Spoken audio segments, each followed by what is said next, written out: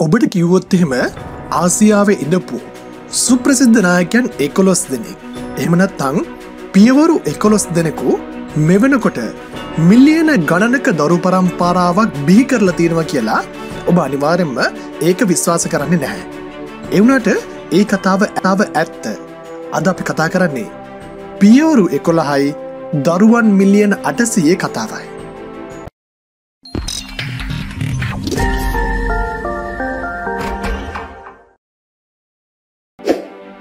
මේ පියවරු එකොරොස් දිනගේ පරම්පරාව මේ වනකොට බිහිකරලා තියෙන ගැහැනු සහ පිරිමි දරුවන්ගේ ගණන මිලියන අටසීයකටත් වැඩි. මේ කතාව කියන්නේ වර්ල්ට්‍රන්ස් අපි නෙවේ. ලීසස්ටර් විශ්වවිද්‍යාලේ ජාන විද්‍යාව පිළිබඳ මහාචාරයවරයකු වන මාක් ජොබ්ලින් ඇතුළු ජාන විද්‍යාඥම් පිරිසක් විසින් තමයි මේ පිළිබඳව මුල් ලෝකෙටම කිව්වේ. ඔවුන් විසින් කරන ලද සමීක්ෂණයකට අනුව මේ වගේ දැවන්ත පරම්පරාවක් බිහිකරපු පියවරුන් එකොළොස් දෙනාට බිරිඳන් විශාල පිරිසක් ඉඳපු බවතමයි ස්වාගෙන තියෙන්නේ. ඒ කාලේ මොංගෝලියාවේ ජෙන්කිස් කාන් නමින් පාලකයෙක් ඉදියා. මේ කෘර පාලකයා රටපාලනය කරේ ඒකාධිපතියකු විදියටයි. රූමත් කෙල්ලෙක් දුටුවිට ඇය ඔහුගේ බිරිධ කර ගැනීම තමයි මේ ඒකාධිපති පාලකයාගේ සිර්ත වුණේ. මේ නිසාම ඔහුගේ අන්තප්පුරය ගැහැනුන්ගෙන් පිරී ඉතිරී ගියා. දෙදස් තුනේ අවුරුද්දෙදී මාක් ජොබ්ලෙන් ඔහුගේ ජාන විද්‍යාඥම් පිරිසමක් එකතු වෙලා. ජෙන්ඩීස් කාන්ගේ සල්ලාල චරිතය පිළිබඳ සමීක්ෂණයක් කළා. මේ සමීක්ෂණේ ජෙන්ජිස්කාන් මිලියන දහසක පරම්පරාවක් සිටිය බවත් ඔහුගේ මේ දරු පරම්පරාවේ දහස් ගණනක් දැනටමත් හැමරටකම් පදිංචවල ඉන්නවා ගෙනත් ස්වාගත්තා. එදදස් දෙසේ විසියතේදී ඔහු මියගිය නැත්නං තවත්දරු පිරිසක් බිහි කරනවා කියල් තමයි මහාචාරය මාක් ජොබ්ලින් කියා සිටියේ. මේ ජානවිද්‍යාඥම් පිරිස ජෙන්ජිස් කාන්ගේ පරම්පරාවේ ගැහැනු සහ පිරිමෙන් හඳුනාගන්නට මුලින්ම මිනිස්සු පන්දාහකගේ DNA සාම්පල් පරීක්ෂා කරල බැලුවා.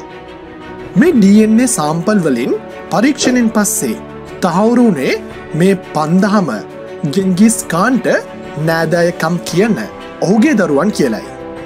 මේ අතරම මේ පරීක්ෂණයෙන් තවත් සමීක්ෂණයට අදාළ කරන පිරිමින් පන්දහසක් පරීක්ෂණයට ලක් කරා. මේ පරීක්ෂණයෙන් සියයට තිස් හතයි දශම අටක්ම තවත් පියවරු දාහකගේ ජානවලට සම්බන්ධකම් කියනව කියල සවාගත්තා. එම පිරිස එම පියවරු දහදනාගේ දරුවන් කියල දැනගත්තා. මෙම පරම්පරාව වැඩිදිනක උපතරබල තියෙන්නේ මැද පෙරදිග සහ අග්නිදිග ආසියාවයි බව ඔවුන් තවදුරටත් සාගත්තා. ඒ කාලේ චීනයේ පියෝ කන්ගා නමින් පාලකෙක් සිටියා. කවින් රාජ පරම්පරාවට අයත්වන පියෝ කන්ගා එදස් පන්සිය අසූතුනේදී මිය ගියා.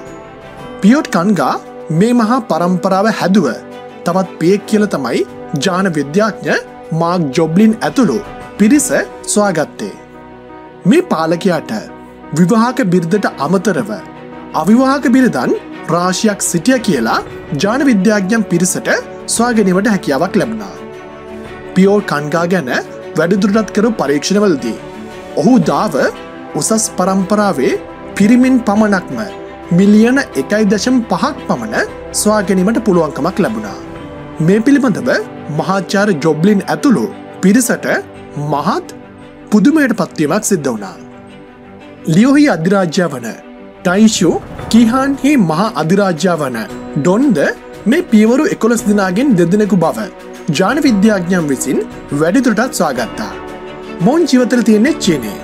මේ පියවරු එකොළොස් දෙනා ස්වාගන්නට තමන්ට බොහෝ කාලයක ඉඳලා විශාල සමීක්ෂණ ප්‍රමාණයක් සිදුකිරීමට සිදුවනා කියලා මහාචාරය මාක් ජොබ්ලින් ප්‍රකාශ කරන අතරම ඔහු තවදුරටත් ප්‍රකාශ කරේ. මගේ සහයක මාචාරය වන මහාචාරය මාක් රොබ්ලෙන් මේ පියවරු හඳුනා ගැනීම තවදුරටත් සමීක්ෂණ කරගෙන යනම කියලා.